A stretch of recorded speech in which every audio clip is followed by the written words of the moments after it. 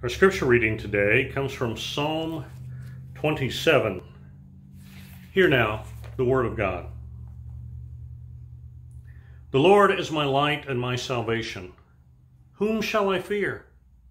The Lord is the stronghold of my life. Of whom shall I be afraid? When evildoers assail me to eat up my flesh, my adversaries and foes, it is they who stumble and fall. Though an army encamp against me, my heart shall not fear. Though war arise against me, yet I will be confident.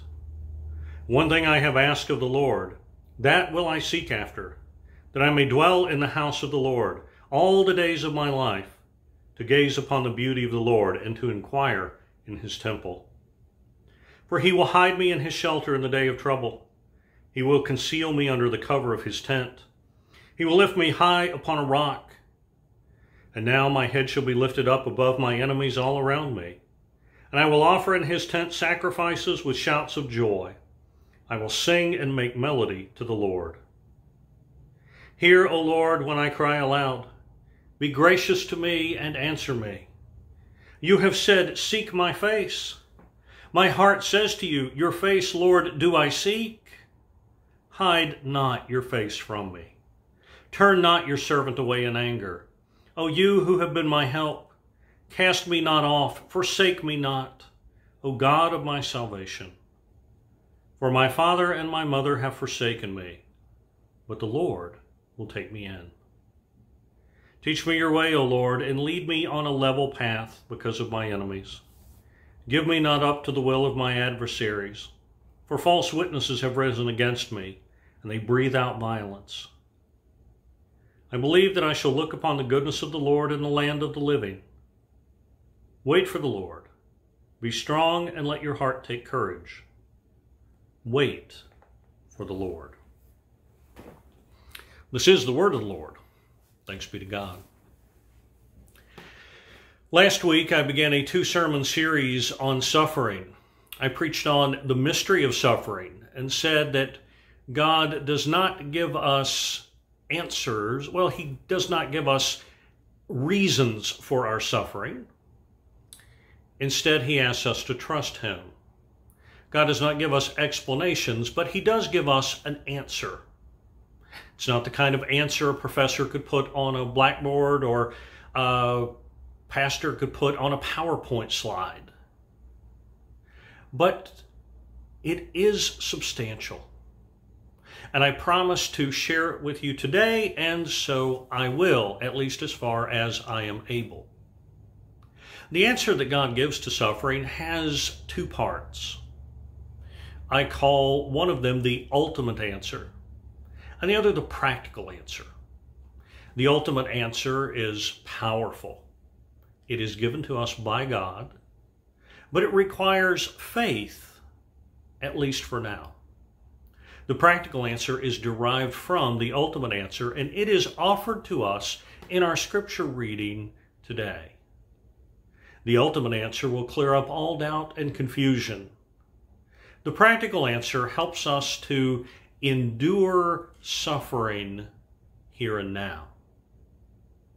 I apologize if all this sounds a little confusing. I trust that it will become clear as we go along. I think that the best way to go forward is to explain first the ultimate answer that God has given to suffering, and then turn to Psalm 27 to find the practical answer. So let's get started. God's ultimate answer to suffering is new creation. New creation is a significant theme in Scripture. The Old Testament prophets foretold a day when the wolf shall lie down with the lamb, when the earth shall be filled with the knowledge of the glory of God as the waters cover the sea. The prophets spoke of all the nations turning to the one true God who would rule them in peace. Then the New Testament ratchets up this hope even further. Jesus spoke of the kingdom of God both as a present reality and also as something far more wonderful that is still in the future. Paul wrote in Romans 8 The creation itself will be set free from its bondage to corruption and obtain the freedom of the glory of the children of God. And of course, the revelation ends the Bible with a vision of a new heaven and a new earth. It says, He will wipe away every tear from their eyes, and death shall be no more, neither shall there be mourning, nor crying, nor pain any more, for the former things have passed away. And he who was seated on the throne said, Behold, I am making all things new. In other words, God has promised. You ain't seen nothing yet. So God has promised for his children a future of unimaginable bliss. No death, no evil, no suffering. We will see God face to face as he is and rejoice and delight in his glory. We will dwell together in perfect peace, justice, and righteousness. Of course, the Bible says this is the destiny of those who belong to Jesus Christ. It is not automatic or universal, so we must put our faith in Christ. For only if God transforms us and makes us like Jesus can we hope to endure the brilliance, the radiance of God's glory. But God will transform us. For those who are in Christ will be resurrected as he was and share in his glory. He will make us perfectly holy. He will give us the power to love perfectly both God and one another. This is a God sized vision that fulfills the deepest longings of the human heart.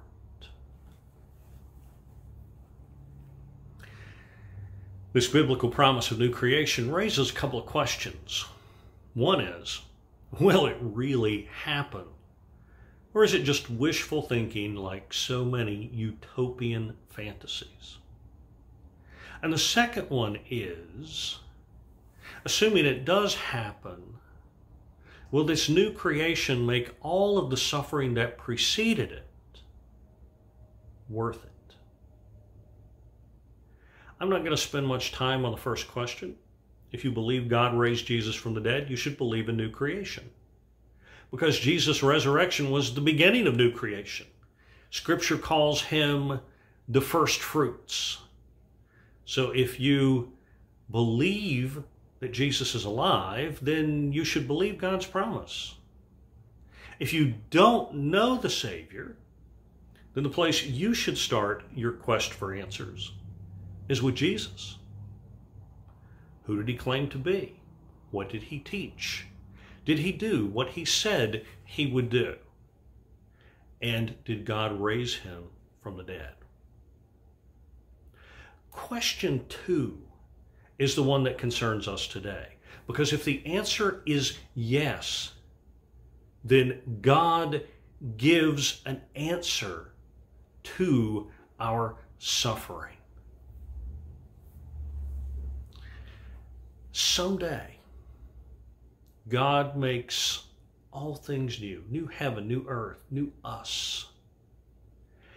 And in that moment when we behold God's glory, not through a glass darkly, but face to face, in that moment we will look back on our life on earth.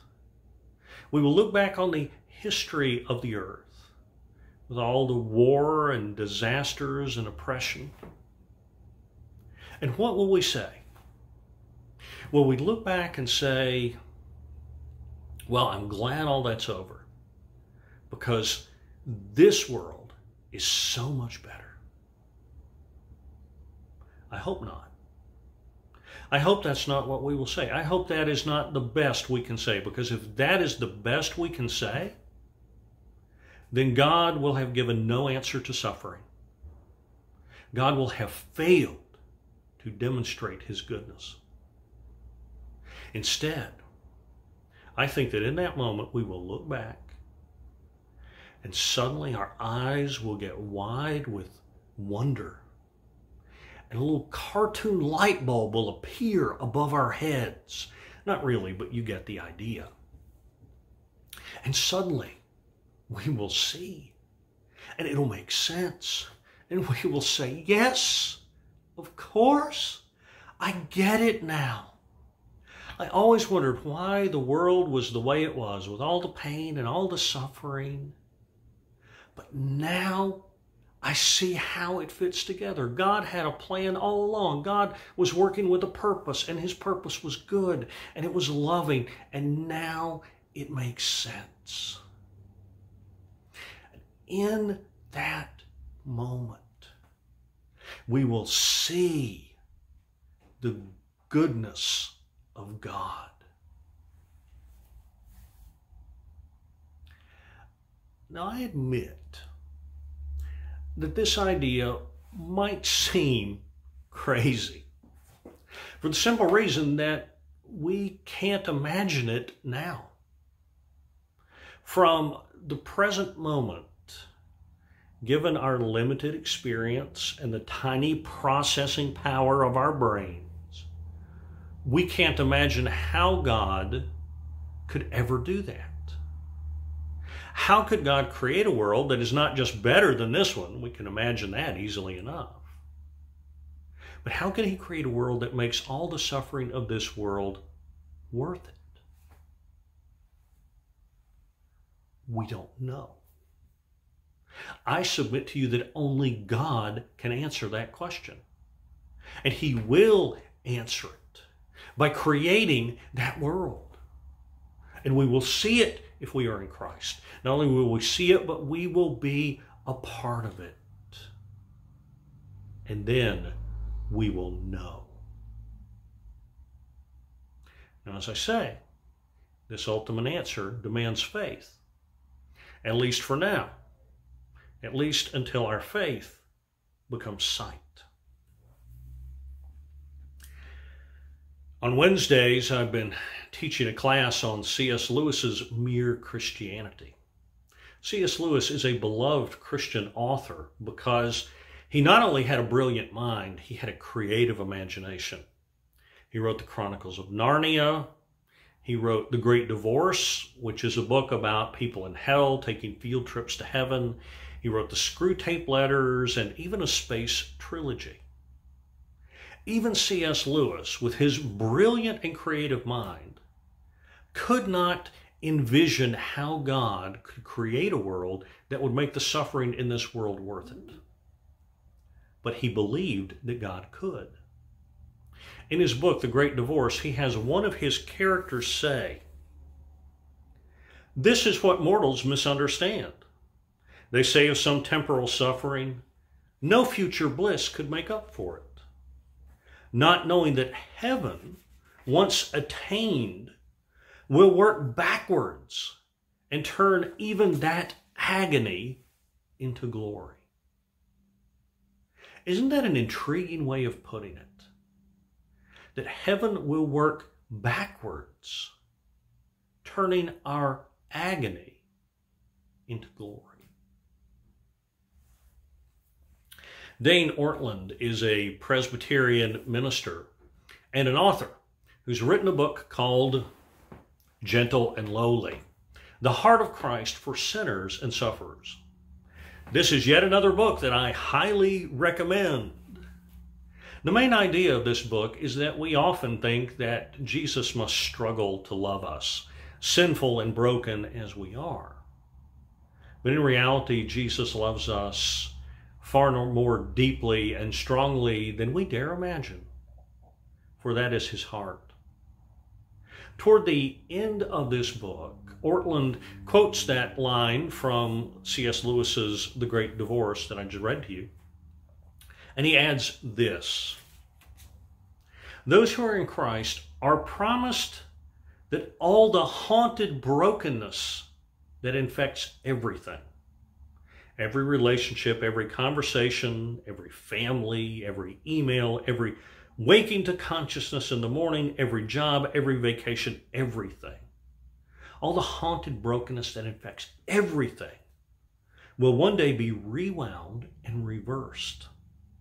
The more darkness and pain we experience in this life, the more resplendence and relief in next. What does that mean? Can it be that our brokenness, our suffering will be transformed as the scars of the risen Christ were transformed, the nail marks in his hand, the spear mark in his side, that our suffering and brokenness will be transformed into testimonies of God's glory, that these testimonies will make us beautiful and cause us to praise God. I dare to believe that that is true. You may think I'm naive. You may think I'm willfully stupid. But let me tell you why I believe. I start with the idea that God is infinitely wiser and cleverer than I am. Just because I can't imagine how God could do it doesn't mean God can't do it. then I look at what God has already done. How he used the cross of Christ to save us. The crucifixion of the innocent and holy Son of God was the worst evil humanity ever perpetrated or ever will. And given our track record for evil, that's saying a lot. But you see what God did. God took our worst evil and He used it as the means to save us from sin and death. He took our worst evil and used it to demonstrate His love and glory. Now, that is judo on a cosmic scale. In judo, you try to use your opponent's weight and momentum against them. And that's what God did. He took our worst and gave us his best. And if he can do that, well, what can't he do? In the cross and resurrection of Jesus, God demonstrated both the love and the power necessary for new creation. Or to put it a bit more crudely, because I know the living Savior, I would never bet against God to create a world that makes all the suffering of this world worth it. Now, if you don't know the Savior, I can understand how you would find this idea unbelievable. But if you know Him,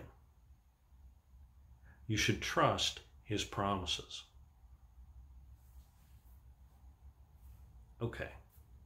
So that's God's ultimate answer to our suffering. New creation. Someday God will make all things new, new heaven, new earth, new us. We see God face to face. We live together in perfect love and joy. But that's someday. What about today? God's answer to suffering is still in the future, but we suffer today. So, what is the practical answer to suffering? It's offered to us beautifully in Psalm 27. Psalm 27 is a shifty little psalm. So much so that some scholars have thought it was originally two psalms that got spliced together. Because the first half expresses confident trust in God while the second half basically begs God to help. But this is one psalm, and it always has been. And if you have faith and you've ever suffered, then you recognize this dynamic. What we see in Psalm 27 is a person of faith who is stretched. We see faith being compressed. We see what it looks like when a person of faith goes through the wringer. Now, last week I preached, Don't be afraid because you have a big God. Well, David agreed with that. Psalm 27 is attributed to King David. Look at verse 1. David said, The Lord is my light and my salvation. Whom shall I fear? The Lord is the stronghold of my life. Of whom shall I be afraid? Now, that's a confident trust in God. That's the kind of faith that struts. And look at verse 3. It says, Though an army encamp against me, my heart shall not fear. Though war arise against me, yet I will be confident. David started out with a lot of faith, a strong faith, when he was just a boy. And years of obeying God had strengthened his faith even more. I think David was far ahead of where I am, and I would suspect where you are as well. If an army camped against you, would you be afraid? I would. I'm afraid of inflation. But although I'm not as far along as David was, I know exactly how he felt. And I hope that you do too. I hope that you know that God is your light and your salvation so that you're not afraid. But although David knows God, David also knows suffering. Verse 2 mentions evildoers. Verse 3 talks about war. Verse 12 brings in false witnesses. That immediately makes us think of Jesus. At his trials, many false witnesses gave testimony against him. Verse 10 is interesting because it is so intense. David writes, For my father and my mother have forsaken me, but the Lord will take me in. So far as we know, in the case of David, that was hyperbole. His father and mother never actually abandoned him. The Bible says nothing about David's mother. We know that David had a lot of support from his tribe, the tribe of Judah, so why would his father abandon him? This is probably just a figurative way of speaking. David is saying the last people in the world who would ever abandon me would be my father and mother. But even if they did, so that I was completely alone in the world, the Lord would take me in. Of course, for some few people, this is a literal truth. They have experienced abandonment or have been disowned by their father or mother or both. Maybe because their father or mother was evil or just badly broken. It's kind of the same thing. Or maybe their parents were Muslims or Hindus and the child became a Christian. The point is, Psalm 27 knows suffering, the deepest suffering of the human heart. If you've never been abandoned by your father or your mother, well, it's bad. So David had strong, confident faith. He also knew terrible suffering. And he cried out to God almost in despair. And look at verse 7. Hear, O Lord, when I cry aloud, be gracious to me and answer me. It's almost as if David is afraid God won't listen to him.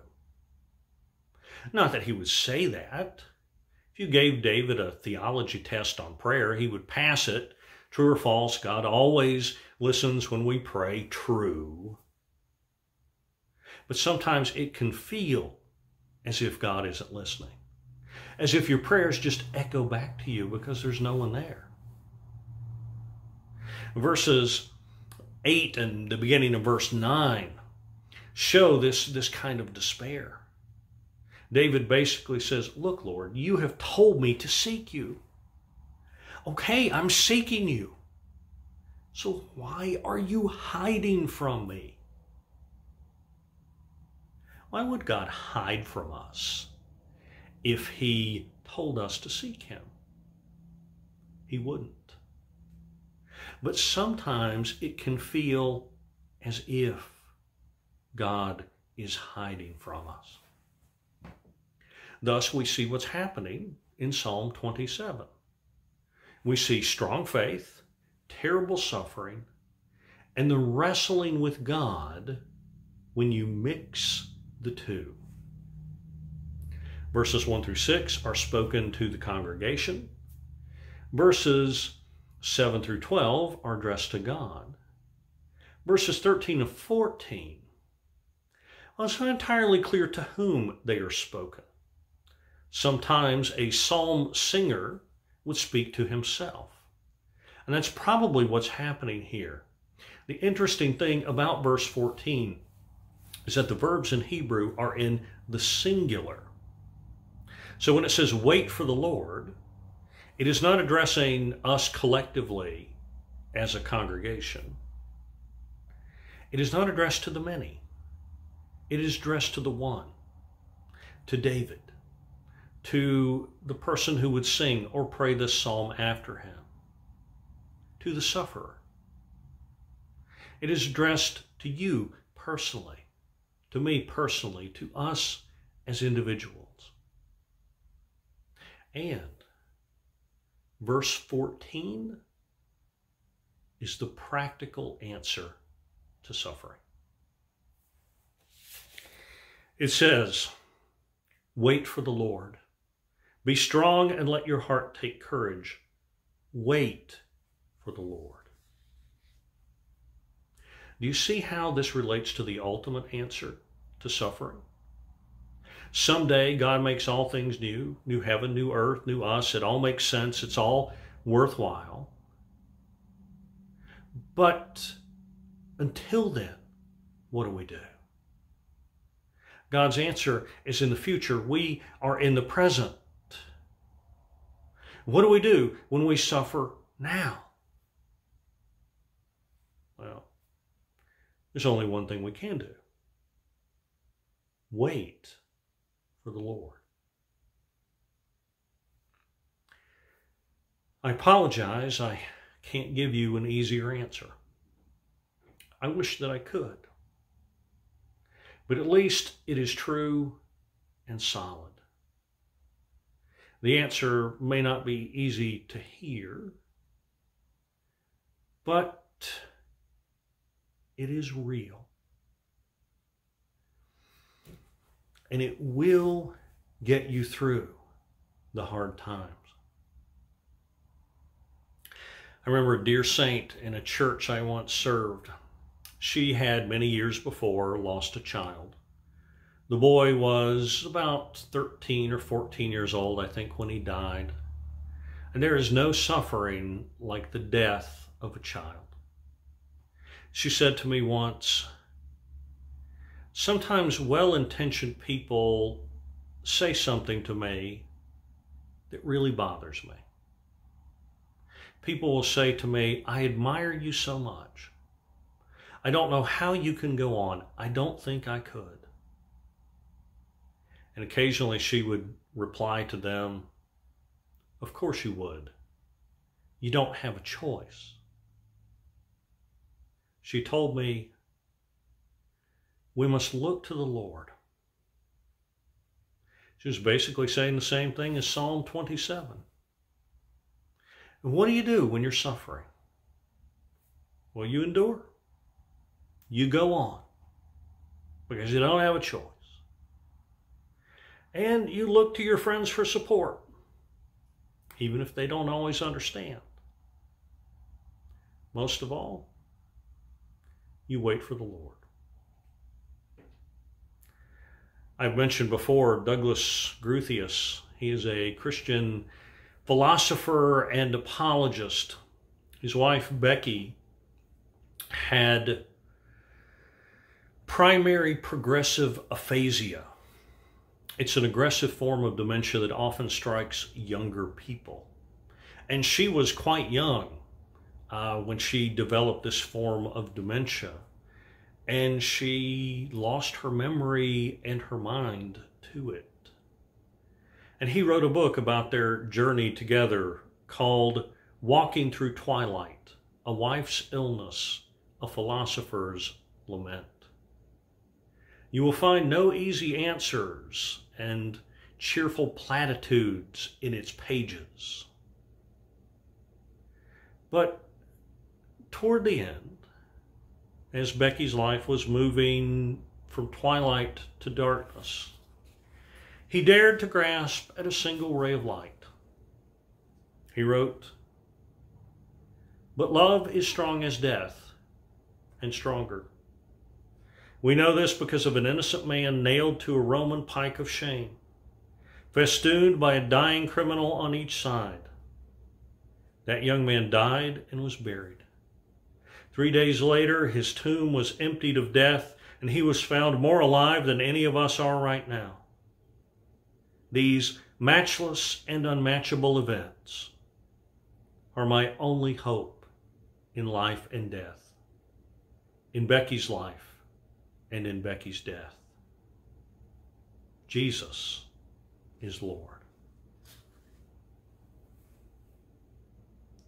Waiting on the Lord is not easy, but we know how the story ends. Scripture tells us. And he who sits upon the throne says, Behold, I am making all things new. Amen.